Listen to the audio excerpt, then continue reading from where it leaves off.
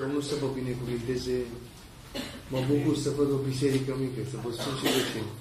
Ne putem și cunoaște mai bine, ne putem simți mai aproape unii de alții și să știm că Dumnezeu este prezent atunci când suntem mai aproape unii de alții și mai ales de El.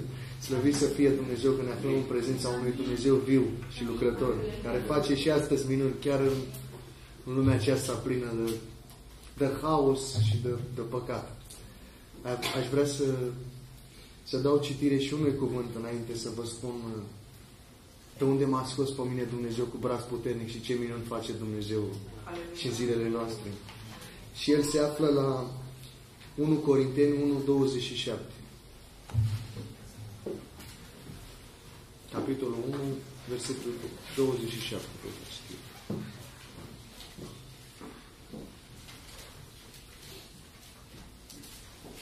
Și spune așa. Dar Dumnezeu a ales lucrurile nebune ale lumii ca să facă de rușine pe cele înțelepte. Dumnezeu a ales lucrurile slabe ale lumii ca să facă de rușine pe cele tari. Și Dumnezeu a ales lucrurile josnice ale lumii și lucrurile disprețuite, ba încă lucrurile care nu sunt, ca să nimicească pe cele ce sunt, pentru ca nimeni să nu se laude înaintea lui Dumnezeu. Amin. Dacă îmi permite fratele Sami, aș vrea să facă fratele Juan o rugăciune și pentru mine că simt nevoia ca Dumnezeu să folosească glasul lui, că noi suntem simpli oameni. Amin? Amin. Tată, te mulțumim pentru care e să mulțumim pentru prezența ta, mulțumim pentru fiecare care se află aici să spun cuvântul tău. Ne rugăm pentru fratele Maria în dimineața aceasta, Cristina, familia lui, ca cântau să folosească de el, de mărturie, de muzică. Ca serviciul în dimineața aceasta să fie pentru gloria și Mulțumim, Doamne, că facem asta în puterea Ta, în puterea noastră. Și vrem ca fiecare, la sfârșitul de acest serviciu, putem să, să simțim că Tu ne-ați În numele Lui Hristos. Amin. Amin. Mai înainte de toate vreau să mă prezint. Sunt Marian Mocanu. Am 30 de ani. Am făcut liceul de muzică, am făcut facultatea la, la Ciprian Porumbescu. Dar viața nu e așa de rost cum pare văzut acum la, la mine. Vin dintr-o experiență foarte, foarte, foarte negativă prin care n-aș dori la nimeni să treacă. Am citit acest cuvânt, vedeți, când să nasc doi copii, pe unul pui să, să facă după tine ta, ta, ta, note muzicale. Și total la fond, total pe, pe din afară. Și altul e înzestrat de Dumnezeu. I-a dăruit Dumnezeu daruri. Acesta nu este de la el, e un dar al lui Dumnezeu. Acum, eu unul am fost înzestrat de mic. Când uh, vezi un copil de mic că are potențial, că este la învățătură, că este în muzică, te aștepți, nu e, nu e o surpriză să iasă ceva deosebit, nu? Te aștepți să iasă medic un, un copil deștept. Te aștepți să iasă un instrumentist mare sau un vocalist, cineva care este înzestrat. Deci nu e ceva surprinzător. Dar Dumnezeu spune că a ales lucrurile nebune ale lumii ca să facă de rușine pe cele înțelepte. Dumnezeu a ales, a ales lucrurile slabe ale lumii ca să facă de rușine pe cele tari. Vreau să vă spun că eu vin după o experiență de droguri de 12 ani. Eu am fost în zestradă mic. Dar vedeți, dacă aș fi ajuns aici, mai erau surprize. Ce? Lasă, Dumnezeu, că ăsta a fost cu tare. Dar de multe ori Dumnezeu vrea să-și arate puterea, punându-te într-o stare ca să înțelegi că El este Dumnezeu. La sfârșit spune, ca să nu se laude nimeni. Vedeți, eu, de mic, nu mi-era foarte greu să, să fiu ceva deosebit în, a, în muzică, ba chiar și la școală. Nu, toate le făceam cu ușurință și le luam de bune că eu sunt cel care, pe când eu am fost în zestradă bunul Dumnezeu, nu te poți lăuda cu ceva ce ai primit. Că spune cuvântul, dacă ai primit, de ce te lauzi? Și vreau să spun că așa cum eram eu, am ajuns la vârsta de 15 ani să cred că toată lumea mă aparține, să cred că toată lumea trebuie să stea la picioarele mele, inclusiv profesori. Și făceam instrucție cu toată lumea, cu familia, cu profesorii, cu to- toată lumea. Și vedeți, noi avem o informație. Este foarte bine că am auzit de pocăință. Sunt mulți care n-au auzit. De asta trebuie să mergem să, să spunem. E mare lucru. Eu la vârsta de 15 ani nu știam ce înseamnă drogurile. Știam că a fi dependent e ca și când ai mânca o prăjitură, ți-a plăcut mult și de mult ce ți-a plăcut mai vrei să mănânci. Asta e dependența. Habar n-aveam că te leagă și începi să ai răuri, să te doară oasele, să nu mai meargă mintea ta corespunzător, să nu mai fii tu însuți și să te despartă de cei apropiați. Nu, nu știam asta. Și neavând informația, asta nu e o scuză, dar este o încurajare pentru cei care cunoașteți să, să vă feriți și să spuneți și voi mai departe. Am căzut foarte ușor neavând informația în patima asta și mai ales crezând că toată lumea mea e ușor să crezi că tu poți face orice. Și am ajuns la vârsta de 15 ani să mă droghez pentru prima oară cu heroină. Habar n-aveam ce, ce e. În mintea mea, cum eu credeam că sunt ceva deosebit, mă vedeam cum sunt ăștia în filme. Ați văzut toți filmul nașul, nu?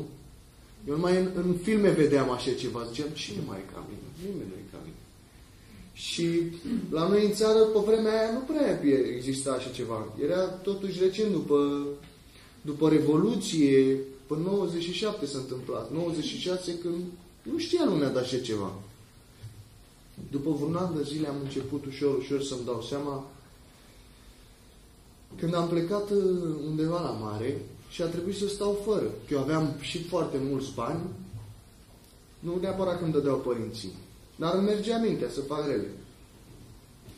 Și când am ajuns uh, acolo și n-am mai avut doza, a trebuit să mă confrunt cu senzația de ce se întâmplă când nu ai. Eu așa mi-am dat seama.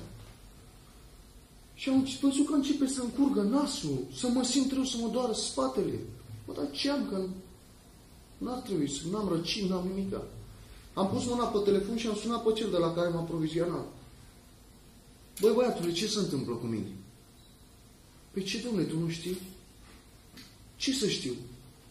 Păi asta este de la, de la droguri. Dacă nu e... Odată ce am conștientizat treaba asta, primul lucru care l-am făcut, m-am, m-am întors acasă, ca să-mi iau. După ce m-am simțit bine, zic așa pe soție. Am înțeles că sunt într-o situație dificilă și vreau să vă spun că am vrut să mă fac bine. Că nu știam, nu mi-am dat seama ce m-am băgat și vreau să mă fac bine. Dar vă spun că prin puterea mea am ajuns din ce în ce mai robit. M-am internat la dezintoxicare și am ajuns să fiu din ce în ce mai rău. Am până în ziua prezent, da, astăzi, vreo 30 de internări la dezintoxicare. Deci voință aveam. Dar am să vă spun ceva. Dacă mergeți acum pe stradă și întrebați pe fiecare care trece, auzi, nu te supăra. Ce crezi că ar trebui să facem ca să ieșim din crize? Garantat, 100% vă spun că toată lumea o să aibă părere. Sunteți de acord? Toate sunt eronate. Dacă întreb pe fiecare ce ar trebui să facem ca să nu mai să moară de, de foame în Africa, toată lumea o să aibă o părere și toate sunt eronate. E uite așa am făcut eu, am privit la om. Dar cuvântul spune blestemat fi omul care să încrede în om. Și ce am făcut? Am ajuns din ce în ce mai rău. Venea unul cu câte o soluție. În parte, toate, toți avem gânduri bune și încercăm să ne facem bine unii altora. Dar spune, când vreau să fac binele, rău este lipit de mine. Rău este să ține de mine. Iată că răul fac. Nu binele care vreau să-l fac. Întrebau și spuneau, știi ce cred eu că ar trebui să faci? Mai bine bei. Mai bine bei, că dacă bei, e mai bine decât să te droghezi. Și cred că ți-a gândul și e bine, ajunsesem să și beau, să mă și droghez. E o mare tâmpenie să crezi că din două orele bine să o alegi pe aia mai puțin rea. Sunt duhuri diferite, cu nume diferite, dar cu același stăpân. Să nu ne amăgim singuri.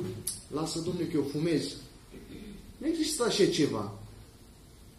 Mai spunea cineva, ce nu există, domnule, că tot te duci în iad în funcție de păcate, că dacă nu l-ai Hristos încerca să facă, să evangelizeze, să spună că nu există păcățel și păcate, adică sunt egale. E adevărat, sunt uh, egale.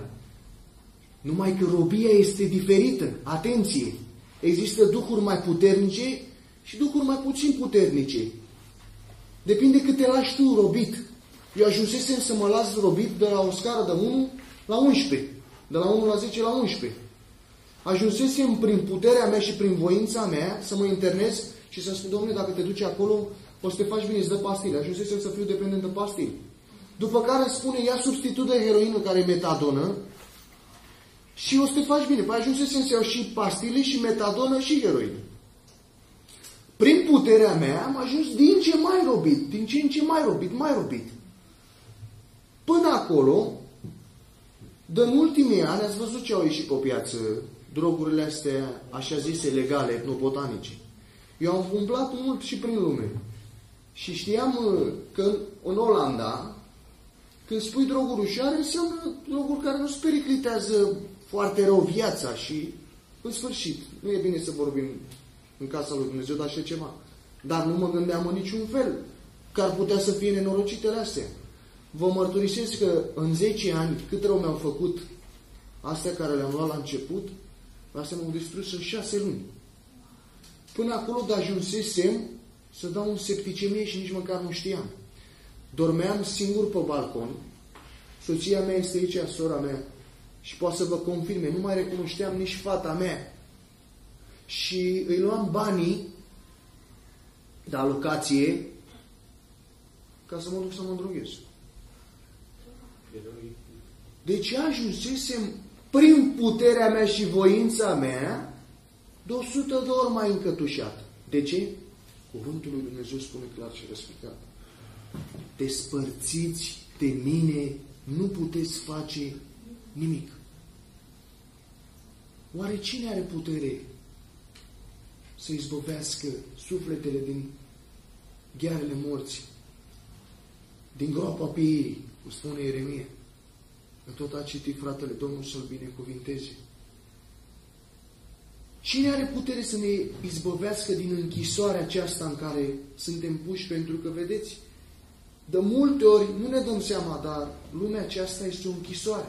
Te limitează. Singurul care îți dă libertate și numai în El este Hristos. Mări să-i fie numele.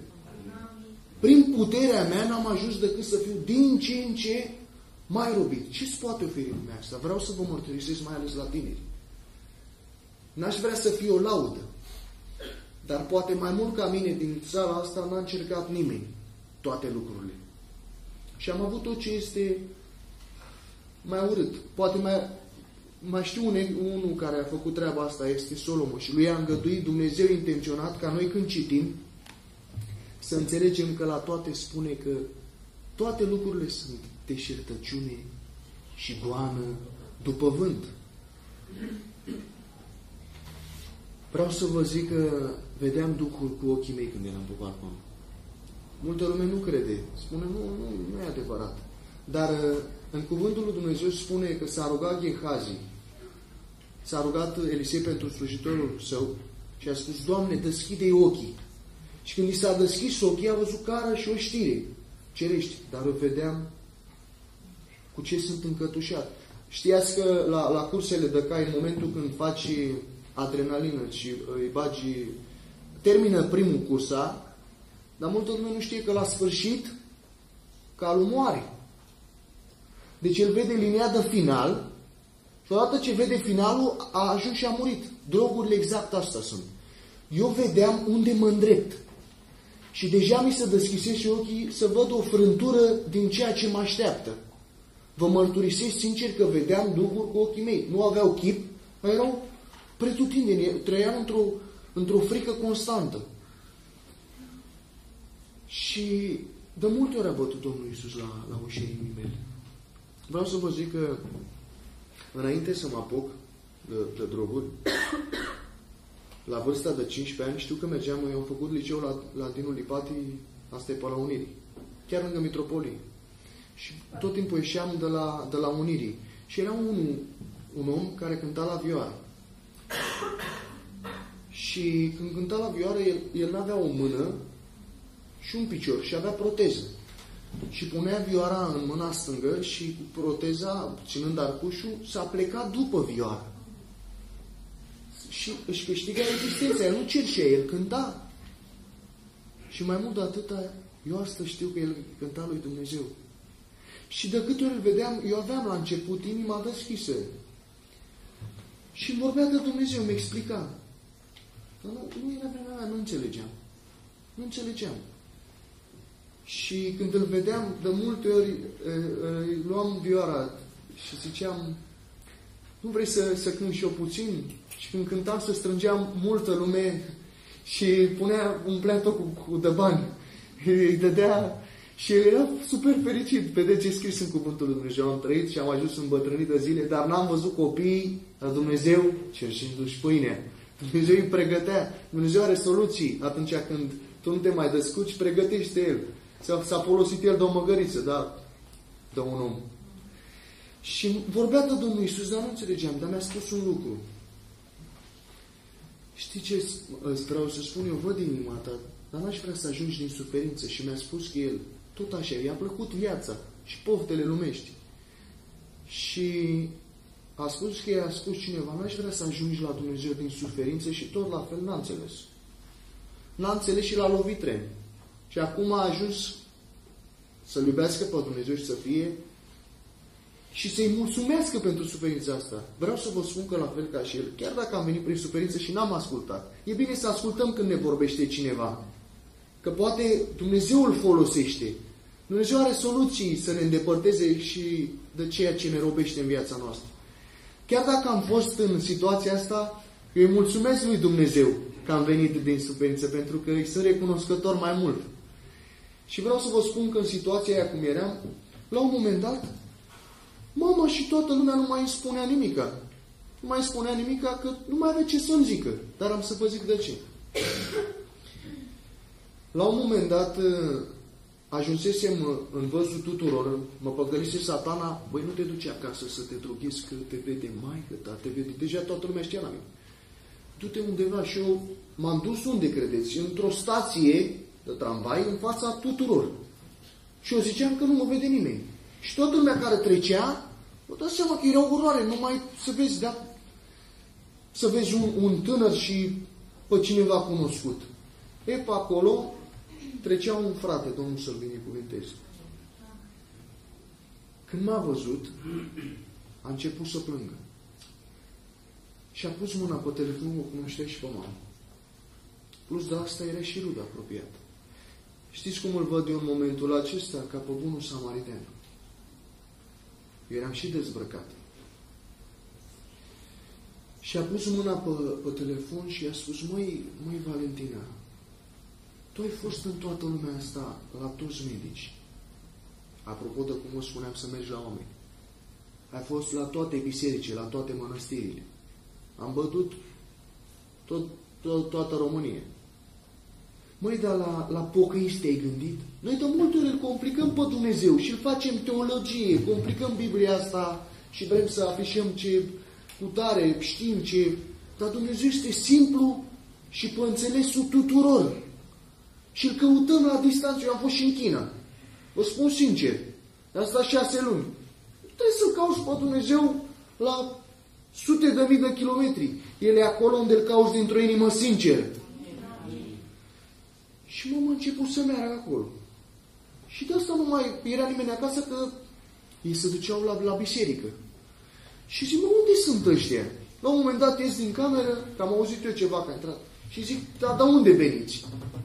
Mai avea momente de luciditate. Și zice, venim de la Domnul Isus. Când am auzit, uitați, vă spun, sunt cercetat, s-a făcut pielea de găină pe mine. Spune că nu este niciun cuvânt care să întoarcă fără rod din gura lui Dumnezeu. Acest Iisus a luat ființă la cuvântul lui Dumnezeu. Și El ia ființă în inima ta tot la cuvântul lui Dumnezeu, dacă îl crezi că e cuvântul lui Dumnezeu. Asta e condiția, nu doar să mărturisești, ci să crezi în inima ta. Când am auzit cuvântul acesta Iisus, chiar dacă eu vedeam duhuri și nu mai recunoșteam pe soția mea, pe fata mea, în momente mă stăteam și mă gândeam, mă, dar ce fac ei acolo? Și cum adică la Iisus? Nu înțeleg. Și dacă a bătut de la început Domnul Iisus și pe parcursul anilor tot mi-a mai spus, e acum a venit timpul să-mi pun întrebarea, mă, dar dacă au dreptate. La început eram deschis, vorbeam cu fratele acela fără mână și fără picior de Domnul Isus. Dar la sfârșit știți ce făceam când veneau pocăiții? Îi luam pe scări și omoram cu bătaia, îi alergam. Dumnezeu să aibă milă de mine. Dar a venit timpul când am zis, mă, ce ar fi să vină frații aceștia la mine? Să văd și eu despre ce e vorba. Vreți să vă spun ceva? Nu e o luptă atunci când ești în lume. E o luptă atunci când dorești să-L cauți din toată inima pe Dumnezeu. Dar de atunci Satan a zis, vreau să iau viața pentru ca să fie al meu. Și știți ce mi s-a întâmplat? M-am trezit în fața geamului, eu stau la etajul 2, să mă arunc, fără măcar să știu. Soția mea, sora mea, mama mea și fetița mea care Fetița mea de multe ori să folosește Dumnezeu de copii. S-a rugat mereu pentru mine. Nu erau acasă niciunul. Și eram încuiat în casă, în fața la geam să mă arunc și nici măcar nu știam. Cine crede că aceste duhuri nu, nu există și nu sunt cu adevărat duhuri de țigare, de droguri și de orice altceva, să-și ia la marnic. Dacă cauți în, în dicționar dependent, sclav și rob, sunt sinonim. Ajunsesem în fața la geam și eu eram singur acasă. Și nu era din voința mea. Cum e posibil așa ceva? Și la un moment dat, vă spun sincer, cuvintele care le-am spus nu le uit până îi ajunge în împărăția lui Dumnezeu și facă Dumnezeu să ne vedem cu toți acolo. Amin. Am zis, Doamne, ce caut eu aici? M-am dat înapoi și m-am uitat la ceas. Era ceasul 6 și 20. Știți unde era familia mea? La biserică. Cu toată biserica pe genunchi. În post și rugăciuni. Mare, rugă, mare putere are rugăciunea fierbinte a celui neprihănit. Este scris în Psalmul 91 că El va trimite îngerii săi, te poartă pe brațe, ca nu cumva să-ți lovești piciorul de vreo piatră. Păi eu m-am salvat de acolo sau garda de îngerea lui Dumnezeu? Mări să-i fie numele lui Dumnezeu, că El are soluții. M-am dat în spate și o fumam exagerat de mult. 3-4 pachete de țigări. Eu și somn fumam. Să vă spună soția mea. Și în stânga era aragazul. Și astăzi este. Era dat drumul la toate gurile de, aer, de, de gaze, dar fără flacără. Eu dacă mi aprindeam în secunda aia o țigare și cuptorul era dat drumul. Nu muream decât eu. Cred că și uh, vecinii mei. Și m-am dat înapoi și după ce am realizat lucrurile acestea, eu fiind singur în casă, mi-am dat seama că e ceva dincolo de puterea omenească și ceea ce nu vedem. Și mi-am pus gândul acela mai puternic în inimă și în momentul acela am hotărât să vină frații aceștia la mine. Au venit la, la puțin timp acasă la mine. Au început să-mi vorbească. Vă spun, în camera alăturată, eu aveam pe masă numai droguri. Eu stăteam câte trei săptămâni în continuu, fără să dorm. Nici nu știu cum e omenește posibil așa ceva și uh, aveam pauză de câteva zile doar să mă aprovizionez. Eu nu mai îmi luam pentru o zi, eu îmi luam exagerat. Dacă mă pui astăzi să fac rost de bani, să mă duc la un sărman, să-i dau 10 milioane sau 3 milioane, nu pot să fac banii ăștia, dar pentru ca să-ți faci rău, are satana resurse să te țină legat și să-ți producă acești bani.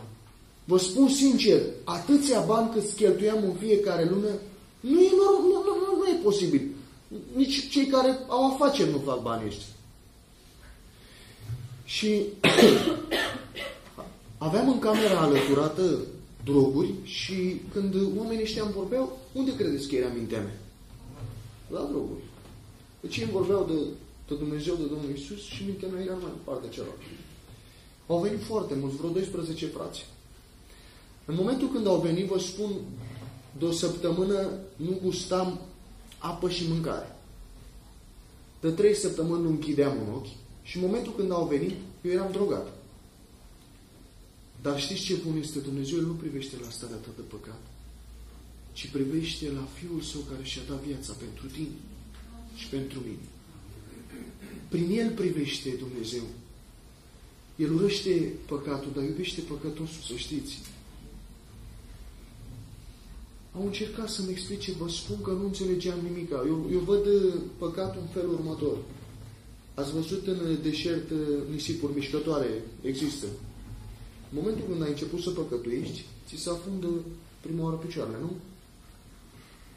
În așa fel încât nu mai poți să-ți îndrepți picioarele să mergi către Dumnezeu, către casa lui Dumnezeu. Păcătuiești mai mult și devii mai mult rob, așa cum ajuns și eu, ți se astupă mâinile de nu mai poți să întinzi mâna după ajutor. Cum a strigat Petru, cea mai scurtă rugăciune. Scapă-mă, Doamne! Când nu știi ce să faci, nu să spui cuvinte pompoase, ci trebuie să-i spui o inimă sinceră, scapă-mă, Doamne! Mai departe, ți se afundă urechile.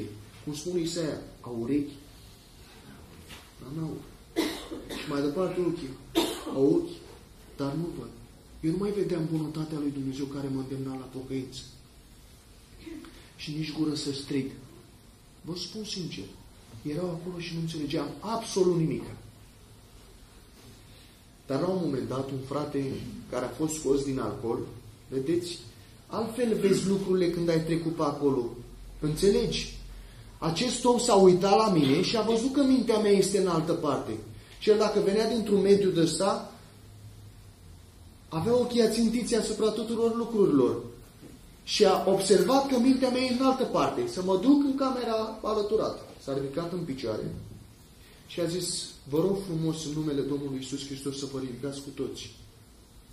Când i-am văzut în picioare, am avut o emoție așa. Și spune, îmi permis să fac o rugăciune? Și am zis, da. Vă rog frumos, haide să cerem cu toții sângele Domnului Isus Hristos, care are putere și astăzi. S-a rugat pentru mine și vă rog frumos să rămâneți fir sângele Domnului Isus Hristos la cer, da? În momentul când a cerut sângele Domnului Isus Hristos, vă spun că au început să curgă transpirațiile pe mine și să, să tremur. Din momentul acela, parcă Domnul Isus a strigat Efata. Urechile mele s-au destupat și am început să pot să cer ajutor, să, să pot să explic unde nu înțelegeam, să pun întrebări. E mare lucru să spui întrebări ca, acolo unde nu înțelegi. Și mi-a spus așa, am permis să spun trei întrebări simple. Și eu am zis, da. Crezi că Iisus Hristos a existat? Cât eram de drogat? M-am gândit la următorul lucru. Mă, cei mai mari înțelepți zic că n-a existat. Dar să contrazic singuri, că spun, înainte de Hristos și după Hristos, să iau ca punct de referință în istorie. Dacă n-ar fi existat, nu, nu luau, nu? Zic, da, cred. A doua întrebare. Dacă crezi că este Fiul lui Dumnezeu. Eu am fost în liceu, cum am spus, pe la Unirii, lângă Mitropolie, mereu de, de, de, de Crăciun, oriunde aș fi fost. Mereu vorba că era biserică acolo. Simțeam un gol în stomac și o emoție puternică să-mi iubesc chiar și vrăjmașul meu. Căci Domnul Iisus când a venit a schimbat toate lucrurile a venit cu cea mai frumoasă poruncă, să-ți iubești aproape. Toți simțim lucrul acesta, indiferent. Și spune cuvântul, adevărul este în voi. Oamenii nu se pot dezvinovăți. Și am zis, da, cred. Deci crezi că a făcut toate minunile acelea? Da. Și acum vine întrebarea. Crezi că te poate vindeca și pe tine? Mari să fie Dumnezeu. Acum eu vă întreb pe dumneavoastră în dimineața aceasta. Credeți că Dumnezeu ne poate vindeca de lepra păcatului? Amin. Domnul să vă binecuvinteze. Dar problema este că de multe ori Măi, crezi că a făcut uh, vindecări și l-a salvat pe acel bolnav? Da. Crezi că a făcut minunea aia? Da. Crezi că a făcut aia? Da. Crezi că poate face și cu tine? A, nu știu. Nu, nu, nu. Poate. Crezi că poate lucra cu semne și minuni și prin tine? Nu, păi eu sunt prea... Nu, fraților, Dumnezeu poate face semne și minuni cu fiecare dintre noi, numai să credem. Amin. Așa am făcut și eu în momentul ăla și am spus, păi nu știu, când a venit vorba să mă vindece pe mine, nu știu. Și a spus așa omul acesta. Iisus Hristos este același. El este neschimbat și este omniprezent. El ne e prezent aici. Și am zis tot așa, amin. Ba da, cred. Păi cuvântul spune, El este același ieri, astăzi și în veci de veci. El nu se schimbă. Oare nu poate face El ce a făcut acum 2000 de ani și pentru tine? Era simplu și pe înțelesul meu ce spune. Era logic. Și am zis, bă da, deci crezi că te poate vindeca și pe tine? Că cel este aici prezent? Și am zis, cred. Și spune, este un verset în Biblie care spune, iată eu stau la ușă și bat. Dacă aude cineva glasul meu și îmi deschide ușa, voi intra la el, voi cina cu el și el cu mine. N-ai vrea să-L primești în inima ta ca Domn și Mântuitor? Păi Iisus Hristos a terminat fraza cu Iisus Hristos. Când a venit în grădina Ghețimanii, pe Domnul Iisus Hristos și a strigat, cine este Iisus din Nazaret? Și a zis, eu sunt. Ce s-a întâmplat cu ei? Au căzut pe genunchi. Și nu odată, de trei ori. Hai, te poți păcăli odată, te mai te po- poți păcăli de două. Dar de trei ori n-ai cum. Asta e prezența lui Dumnezeu. Este scris în cuvântul lui Dumnezeu că orice genunchi din cer, de pe pământ și de sub pământ se va pleca înaintea Fiului lui Dumnezeu. Vă mărturisesc, deci eu mă ridicasem în picioare să mă duc să mă droghez. Acest om a cerut sângele lui Iisus Hristos care are putere și în momentul când m-a întrebat, vrei să-L primești în inima ta ca Domn și Mântuitor pe Iisus Hristos, mi s-au tăiat picioarele și am căzut pe genunchi înaintea Fiului lui Dumnezeu. În momentul acela am știut că nu este om, ci este glasul lui Dumnezeu. Am strigat din toată inima, da, Doamne, te primesc în viața mea ca Domn și Mântuitor. Am avut multe necazuri în viața mea și am plâns mult la viața mea. Dar ca momentul acela n-am plâns toată viața mea. N-am plâns pentru că îmi plângeam păcatul și am înțeles că Dumnezeu îmi dăruiește iertare. El ne dă iertare, vindecare și mai presus de toate acestea, mântuire slăvit să fie numele. Nu omul, ci singurul Fiul lui Dumnezeu care este calea, adevărul și viața. De multe ori poate credem că toate lucrurile trebuie să fie minunate și roz pe calea lui Dumnezeu. Dar Domnul Iisus a spus așa, în lume veți avea necazuri, dar ce minunat este să-L ai pe Dumnezeu de partea ta când treci prin El. Îndrăzniți, ce eu am biruit lumea, a spus Domnul Iisus. După toate aceste lucruri a venit salvarea și m-a luat la spital. Eu nu știu, dar nu știam atunci, dar am prins ultimul tren slăvit să fie numele Lui Dumnezeu. Eram în septicemie. Rănile mele pot confirma lucrul acesta. Să știți că sunt bune semnele. Că arată că mărturia ta este adevărat. Așa cum rănile din mâinile lui Dumnezeu sunt pentru noi și ele suntem vindecați. Și vă spun, nu înțelegeam multe lucruri. Și nu trebuie să citești mult ce atâta cât îți dă ție inima și pe înțelesul tău. Nu înțelegeam Biblia, dar înțelegeam Psalmul 51.